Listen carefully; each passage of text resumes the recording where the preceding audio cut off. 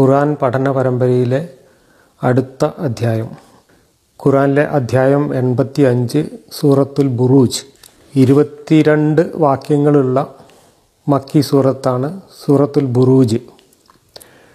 ബുറൂജ് എന്ന വാക്കിന്റെ അർത്ഥം ഉൾപ്പെടെ ഈ അധ്യായത്തിൽ പറഞ്ഞിട്ടുള്ള വാക്കുകളുടെയും വാക്യങ്ങളുടെയും അർത്ഥം എന്താണ് എന്ന് ഇത് കൊടുത്തയച്ച അള്ളാഹുവിനോ ഇത് വെളിപ്പെടുത്തിയ മുഹമ്മദിനോ അത് കേട്ട സഹാബിമാർക്കോ ഇത് വ്യാഖ്യാനിച്ച മുഫസ്സിറുകൾക്കോ ആർക്കും പിടികിട്ടുന്നില്ല എന്നതാണ് ഈ അധ്യായത്തിന്റെ സവിശേഷത. ഖുർആാനിലെ മറ്റ് പല അധ്യായങ്ങളെയും പോലെ തന്നെ യാതൊരു തലയും വാലും അർത്ഥവും പിടികിട്ടാത്ത എന്തൊക്കെയോ കുറേ വാക്കുകൾ മാത്രം ഒട്ടിച്ചു ചേർത്തിട്ടുള്ള ഒരു പാട്ട്. കഴിഞ്ഞ അധ്യായത്തിൽ പറഞ്ഞതുപോലെ തന്നെ ഒരു സജീൽ കുഹാൻ എന്ന ഗണത്തിൽപ്പെടുത്താവുന്ന നാടൻ ഭാഷയിൽ കോതപ്പാട്ട് എന്ന് പറയാവുന്ന ഒരു പാട്ട്. ഞാനിതിലെ ഇരുപത്തിരണ്ട് വാക്യങ്ങളുടെ അർത്ഥം വായിക്കാം. അതിനുശേഷം അതിനെക്കുറിച്ചുള്ള ചുരുക്കം അഭിപ്രായം പറയാം. വസമായി ദാത്തിൽ ബുറൂജ് അങ്ങനെയാണ് പറഞ്ഞു തുടങ്ങുന്നത്. പതിവ് പോലെ ഇവിടെയും അള്ളാഹുവിന്റെ സത്യം ചെയ്യലാണ്. വസമായി ദാത്തിൽ ബുറൂജ് വൽ യോമിൽ മൗഊദ് വഷാഹിദിൻ വ മഷ്ഹൂദ് വസമായി ഇദാത്തിൽ ബുറൂജ് എന്നതിന് നക്ഷത്രങ്ങളുള്ള ആകാശം എന്നും രാശികളുള്ള ആകാശം എന്നും മണലും വെള്ളത്തുള്ളിയും പരന്നു കിടക്കുന്ന ആകാശം എന്നും ഒക്കെ അർത്ഥം കൊടുത്തിട്ടുണ്ട് പല വ്യാഖ്യാതാക്കളും പല പരിഭാഷകരും. പക്ഷേ ആർക്കും ഇതെന്താണ് എന്ന് തീർത്ത് പറയാനുള്ള ക്ലിപ്തത ലഭിച്ചിട്ടില്ല. ഓരോരുത്തരും ഊഹിച്ച് ഓരോ അർത്ഥങ്ങൾ പറയുകയാണ് ചെയ്തിട്ടുള്ളത്. കാരണം ബുറൂജ് എന്ന വാക്ക് അറേ അറേബ്യയിൽ അന്ന് അത്ര വ്യക്തമായൊരർത്ഥമുള്ള ഒരു സാധാരണ പദമായിരുന്നില്ല. മുഹമ്മദിന് ഇവിടുന്ന് ഒരു വാക്ക് കിട്ടി ആ വാക്ക് അവിടെ കൊണ്ടുവന്ന് ഒട്ടിച്ചു എന്ന് മാത്രമേ ഇതിൽ നിന്നും നമുക്ക് മനസ്സിലാക്കാൻ കഴിയുന്നുള്ളൂ. നക്ഷത്രങ്ങൾ അല്ലെങ്കിൽ രാശികളുള്ള ആകാശവും താക്കീത് ചെയ്യപ്പെട്ട ദിവസവും. ഇനി താക്കീത് ചെയ്യപ്പെട്ട ദിവസം എന്താണ് എന്നതിനെക്കുറിച്ച് മുഫസ്സിറുകൾ ഇരുട്ടിൽ തപ്പുകയാണ്. ചിലർ പറയുന്നത് അത് വെള്ളിയാഴ്ചയാണെന്ന് ചിലർ പറയുന്നത് അത് അറഫാ ദിനമാണ് വേറെ ചിലർ പറയുന്നത് അതൊന്നല്ല അത് കിയാമത്ത് നാളാണ്. അങ്ങനെ കാക്കത്തൊള്ളായിരം അർത്ഥങ്ങൾ പലരും പറഞ്ഞിട്ടുണ്ട്. അത് കഴിഞ്ഞ് അതിന്റെ മൂന്നാമത്തെ വാക്യം അതിനേക്കാളും വലിയ കോമഡിയാണ്. സാക്ഷിയും സാക്ഷീകരിക്കപ്പെടുന്നതും തന്നെയാണ് സത്യം. എന്താണ് ഈ സാക്ഷി? എന്താണ് ഈ സാക്ഷീകരിക്കപ്പെടുന്നത്? ആർക്കും ഒരു പിടിയും ഇതുവരെ കിട്ടിയിട്ടില്ല. മുഫസ്സിറുകൾ എന്താണത് എന്നതിനെക്കുറിച്ച് അഭിപ്രായം പോലും പറയാതെ അതൊക്കെ അള്ളാഹ്ക്കറിയും എന്ന് പറഞ്ഞ് സ്കിപ്പ് ചെയ്തു പോയിരിക്കുകയാണ് പലരും. അപ്പോൾ ഈ ആദ്യത്തെ മൂന്ന് നാല് മൂന്ന് വാക്യങ്ങളുടെ അവസ്ഥയാണിത്. ഈ മൂന്ന് വാക്യങ്ങളിൽ എന്താണ് പറയുന്നത് എന്നും എന്താണ് അതിന്റെ അർത്ഥമെന്നും ആർക്കും ഒരു പിടിയും കിട്ടില്ല. അള്ളാഹു എന്തൊക്കെയോ വിളിച്ചു പറഞ്ഞുകൊണ്ട് സത്യം ചെയ്യുകയാണ്. പതിവ് പോലെ ഈ സത്യം ചെയ്യൽ. ഈ അദ്ധ്യായത്തിന് പേരായി കൊടുത്തിട്ടുള്ള ആദ്യ വാക്യത്തിലെ അവസാന വാക്ക് ബുറൂജ് എന്ന വാക്കിന്റെ അർത്ഥം പോലും ഈ ഖുറാൻ വ്യാഖ്യാനിക്കാൻ കടലാസും പേനിയെടുത്തവർക്ക് മര്യാദയ്ക്ക് പറഞ്ഞു തരാൻ അറിയില്ല എന്നുള്ളതാണ് സത്യം. ഇനി അടുത്ത വാക്യം നോക്ക്. കുത്തില അസ്ഹാബുൽ ഹുദൂദ്.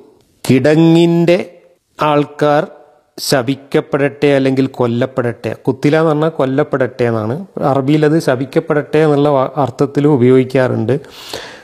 ആരാണ് കൊല്ലപ്പെടട്ടെ എന്ന് പറയുന്നത്? അസ്ഹാബുൽ ഉഹ്ദൂദ് കിടങ്ങിന്റെ ആൾക്കാർ ശപിക്കപ്പെടട്ടെ അല്ലെങ്കിൽ കൊല്ലപ്പെടട്ടെ. അന്നാരിദാത്തിൽ വക്കൂദ് വിറക് കത്തിക്കപ്പെടുന്ന തീയിന്റെ ആൾക്കാർ. അവരും കൊല്ലപ്പെടട്ടെ. ഇദ്ഹും അലൈഹ കുഊദ് അവർ അതിന്റെ അടുത്ത് ഇരിക്കുമ്പോൾ വഹും അലാമ യഫ്അലൂന ബിൽ മുഅ്മിനീന ഷുഹൂദ് സത്യവിശ്വാസികളെ കൊണ്ട് തങ്ങൾ ചെയ്തുകൊണ്ടിരിക്കുന്നതിന് അവർ ദൃക്സാക്ഷികളായും കൊണ്ട്. ഇവിടെ ഏതോ ഒരു കഥ പറയുകയാണ്. എന്ത് കഥയാണ് എന്ന് ആർക്കും ഒരു തിട്ടവുമില്ല. പലതരത്തിലുള്ള കഥകളും പലരും പറയുന്നുണ്ട്. എന്തോ ഒരു കിടങ്ങിൽ വിറകിട്ട് ആരെയോ കത്തിച്ച കഥയാണ് പറയുന്നത്. അത് അറേബ്യയിൽ ഏതോ നാട്ടിൽ നിന്ന് അവിടെ പ്രചരിച്ച എന്തോ ഒരു കഥയെ മുഹമ്മദിന്റെ കയ്യിൽ കിട്ടിയപ്പോൾ അദ്ദേഹം അവിടെയും അള്ളാഹുവിനെ കൊണ്ടുവന്ന് തിരികെ അള്ളാഹുവിനെ ആരാധിച്ച ആൾക്കാരെ അള്ളാഹുവിന്റെ എതിരാളികളായിട്ടുള്ള ആൾക്കാർ വേറെ ദൈവങ്ങളെ ആരാധിച്ചിരുന്ന ആൾക്കാർ തീയിലിട്ട് ചുട്ട എന്തോ ഒരു കഥയാണ് കിടങ്ങിൽ വിറക് കത്തിച്ചിട്ട് എന്തോ ഒരു കഥയാണ് എന്നും പറഞ്ഞിട്ടാണ് ഇവിടെ അവതരിപ്പിക്കുന്നത്. തുടർന്ന് എട്ടാം വാക്യം മുതൽ ഞാൻ അർത്ഥം മാത്രം വായിച്ചു പോവാം. പ്രതാപശാലിയും സ്തുത്യർഹനുമായ അള്ളാഹുവിൽ വിശ്വസിക്കുന്നു എന്നല്ലാതെ അവരെ വെറുപ്പിക്കുന്ന ഒന്നും തന്നെ അവർ ചെയ്തിട്ടില്ല.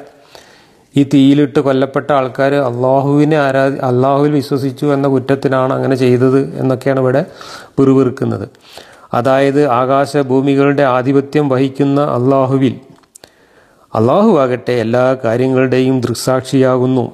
അപ്പോൾ ഈ തീയിലിട്ട് ആരെയോ അള്ളാഹുവിനെ വിശ്വസിച്ചു എന്ന കാരണം കൊണ്ട് തീയിലിട്ട് വറുത്തപ്പോൾ അള്ളാഹു അവിടെ ദൃക്സാക്ഷിയായിട്ട് കയ്യും കെട്ടിയിരിക്കുകയായിരുന്നു എന്നാണ് ഇവിടെ പറയുന്നത്. നിശ്ചയമായും സത്യവിശ്വാസികളെയും സത്യവിശ്വാസിനികളെയും കരിച്ചു കളയുകയും പിന്നീട് പശ്ചാത്തപിക്കാതിരിക്കുകയും ചെയ്യുന്നവർക്ക് നരകശിക്ഷയുണ്ട്.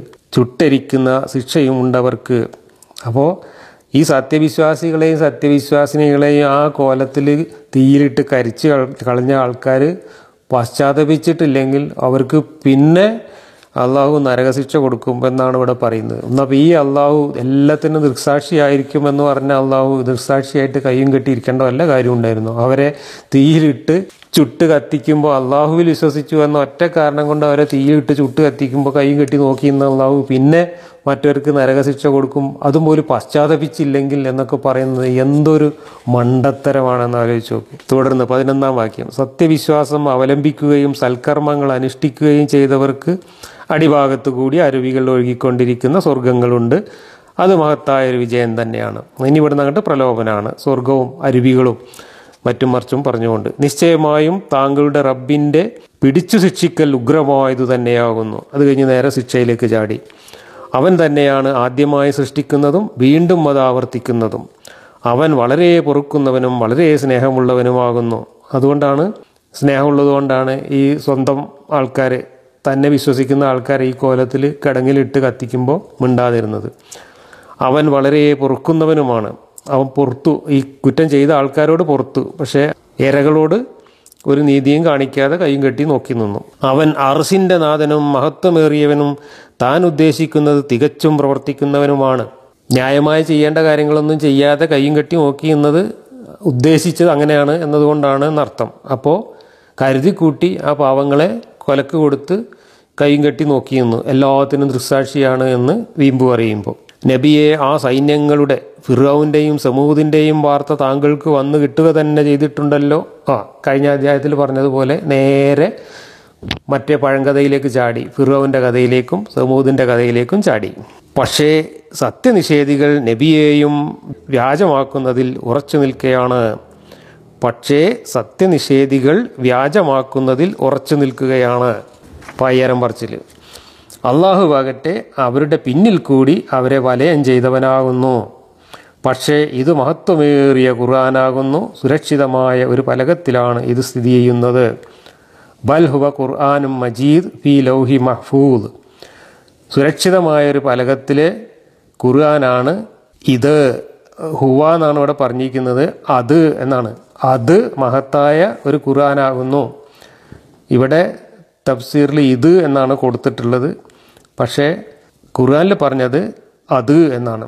ഏത് ഖുർആാനെ കുറിച്ചാണ് ഇവിടെ പറയുന്നത് എന്ന് വ്യക്തമല്ല. സുരക്ഷിതമായ ഒരു പലകത്തിൽ എന്നതിന് ജലാലൈനിയൊക്കെ കൊടുത്തുള്ള അർത്ഥം എന്ന് വെച്ചാൽ പിശാചുക്കൾക്ക് തൊടാൻ കിട്ടാത്ത ഒരു പലകമ്മൽ എഴുതി വെച്ച കാര്യങ്ങളാണ് എന്നാണ്. അതിന് വ്യാഖ്യാതാക്കൾ പറയുന്നത് അള്ളാന്റെ അർസിന്റെ ചുവട്ടിൽ ഒരു വലിയ പലകത്തിൽ എഴുതി വെച്ച ആ ബഡാ കിതാബിൽ ഉള്ള കാര്യങ്ങളാണ് മുഹമ്മദ് നബിക്ക് ഇറക്കിയ ഈ ഖുർആൻ എന്നാണ് ഇവിടെ ഉദ്ദേശിക്കുന്നത് എന്നൊക്കെയാണ് വ്യാഖ്യാനം. പക്ഷേ അത് പറയേണ്ട ഗ്രാമറിലൊന്നുമല്ല ഇത് പറഞ്ഞിട്ടുള്ളത്. ഈ ഭാഷ അനുസരിച്ച് ഖുറാനിൽ പറഞ്ഞതനുസരിച്ച് ഇത് ഏത് പുസ്തകം ഏതോ വേറൊരു പുസ്തകത്തെക്കുറിച്ചോ ഏതോ ഒരു ഗ്രന്ഥത്തെക്കുറിച്ചോ ആണ് പറയുന്നത്. ചെയ്ത്താന്റെ കയ്യിൽ നിന്ന് സംരക്ഷിച്ച് കൊണ്ടുവന്ന കിതാബാണ് എന്നൊക്കെയാണ് ഇവിടെ പറയുന്നത്. ചുരുക്കി പറഞ്ഞാൽ ഒരധ്യായം വെറുതെ കുറേ അർത്ഥശൂന്യമായ വാക്കുകൾ അന്നത്തെ അറബി ഭാഷയിൽ പോലും ആരും പ്രയോഗിക്കാത്ത അർത്ഥമില്ലാത്ത കുറേ വാക്കുകൾ കൊണ്ടുവന്ന് ഒട്ടിച്ചിട്ട് ഒരു പാട്ട് ഉണ്ടാക്കിയിരിക്കുകയാണ്. ആ പാട്ടിൽ കുറേയൊക്കെ പ്രാസം ഒപ്പിക്കാൻ ശ്രമിച്ചിട്ടുണ്ട്. പക്ഷേ മുഴുവൻ വാ മുഴുവൻ വാക്യങ്ങളിലും ഒരേ പ്രാസമല്ല. ഇടയ്ക്കിടയ്ക്ക് അങ്ങോട്ടും ഇങ്ങോട്ടും മാറുന്നുണ്ട്. തുടക്കത്തിൽ തന്നെ അത് തെറ്റിയിട്ടുണ്ട്. ഇവിടെ ബുറൂജ് എന്ന് പറഞ്ഞ് തുടങ്ങുന്നു. പിന്നെ എല്ലാം ദ് ദ് ദ് എന്ന് പറഞ്ഞിട്ടാണ് പോകുന്നത്. അതങ്ങനെ പോയി പോയി അവസാനം പത്താമത്തെ വാക്യത്തിൽ എത്തിയതോടുകൂടി ആ ദ് എന്നുള്ള പ്രാസം പോയി പിന്നെ ഹരിയക്ക് എന്നൊക്കെ ആയി മാറി.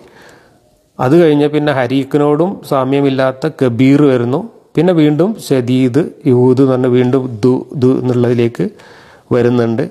ഏറ്റവും അവസാനം തക്ദീബ് എന്ന് പറഞ്ഞിട്ട് അവിടെ ബ് ലാണ് അവസാനിക്കുന്നത്. അപ്പോൾ ഒരു അന്ത്യാക്ഷര പ്രാസം പോലും ശരിയാം വണ്ണം ഒപ്പിക്കാൻ ഇവിടെ എവിടെയും സാധിച്ചിട്ടില്ല ഇരുപതാം വാക്യത്തിൽ എത്തുമ്പോൾ മുഹീത്ത് വീണ്ടും മജീദ് പിന്നെ മഹ്ഫൂൽ ഇവിടെ ഒന്നും പ്രാസോപ്പിക്കാൻ പറ്റിയിട്ടില്ല. ഈ ഇരുപത്തിരണ്ട് വാക്യങ്ങളുള്ള ഒരർത്ഥവുമില്ലാത്ത കുറേ വാക്കുകൾ കൊണ്ടൊന്ന് ഒട്ടിച്ച് ഉണ്ടാക്കിയ ഈ ഒരു പാട്ടിൽ പോലും ഒരു അന്ത്യാക്ഷര പ്രാസം ആദ്യാവസാനം തുടരാൻ പോലുമുള്ള സാഹിത്യ നൈപുണിയൊന്നും ഭാഷാ നൈപുണിയൊന്നും ഈ ഖുർആൻ എഴുതിയ പടച്ച തമ്പുരാന് ഇല്ലായിരുന്നില്ല എന്ന് വ്യക്തമാണ്.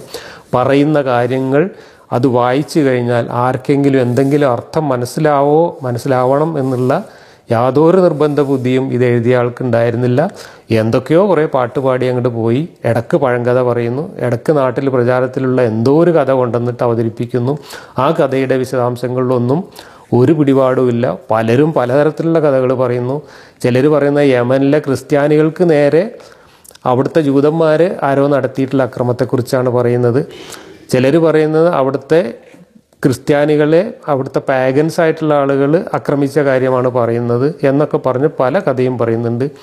ഇത് യമനിലെ കഥയല്ല വേറെ എവിടുന്നുള്ള കഥയാണ് എന്ന വെർഷനുണ്ട് എന്തായാലും ഏതോ ഒരു കിടങ്ങിൽ കുറേ വിറകിട്ടിട്ട് ഏതോ ആൾക്കാരെ ആരോ കൊന്നു എന്നുള്ള ഒരു കഥ എടുത്തിട്ട് അത് അള്ളാഹുവിന്റെ പെരടിയിൽ വെച്ച് കെട്ടിക്കൊണ്ട് ഇവിടെ മുഹമ്മദ് മുഹമ്മദിന്റെ പതിവ് കലാപരിപാടി നടത്തിയതായിട്ടാണ് കാണുന്നത്. യാതൊരു നിലവാരവുമില്ലാത്ത ഒരർത്ഥബോധവുമില്ലാത്ത ഒരു കോതപ്പാട്ട് എന്ന് വിശേഷിപ്പിക്കാവുന്ന ഒരു പാട്ട് മാത്രമാണ് ഈ സൂറത്തുൽ ബുറൂജ്.